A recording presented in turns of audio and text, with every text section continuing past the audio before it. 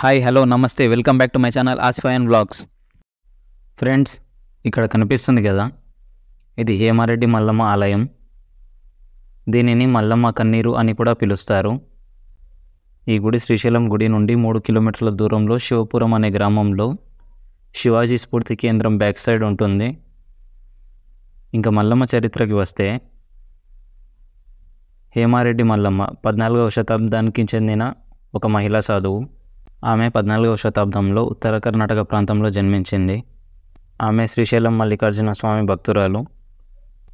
ఆమె వీరశైవ లింగాయత్ కుటుంబంలో పెరిగి బసవన్న మార్గాన్ని అనుసరించింది. ఆమె తన సహ సోదరిమణులచే చాలా చిత్రహింసలకు గురైంది.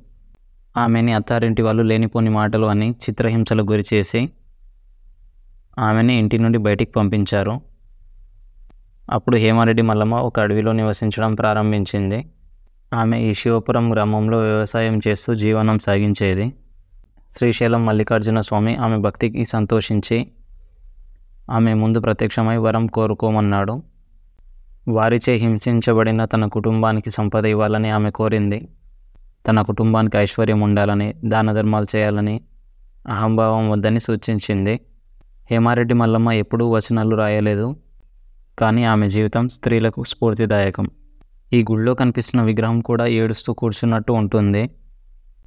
ఆ విగ్రహం పక్కనే ఒక చిన్న నీటి ఊట కనిపిస్తుంది. ఆమె ఏడుస్తున్న నీరు అందులో ఊరుతుంది అని ఇక్కడ ఉన్నవాళ్ళు చెప్తారు. ఈ గుడి పక్కనే ఒక బావి కూడా ఉంది. ఒక గుడిసె కూడా ఉంటుంది. ఆమె ఇక్కడే నివసించిందని చెప్తారు.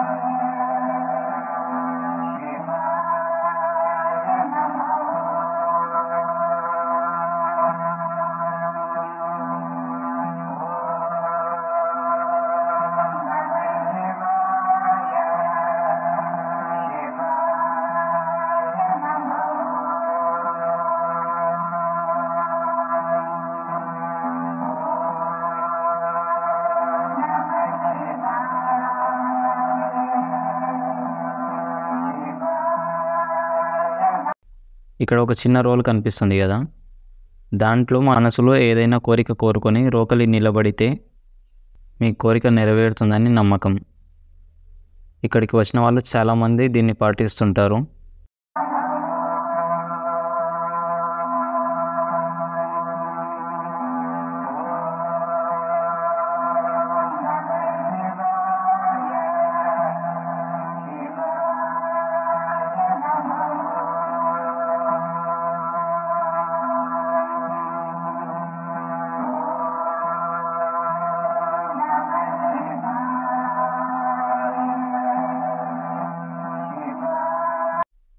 సో ఫ్రెండ్స్ ఇది మన వ్లాగ్ నచ్చితే లైక్ చేసి షేర్ చేయండి. అలాగే ఛానల్ని సబ్స్క్రైబ్ చేయండి.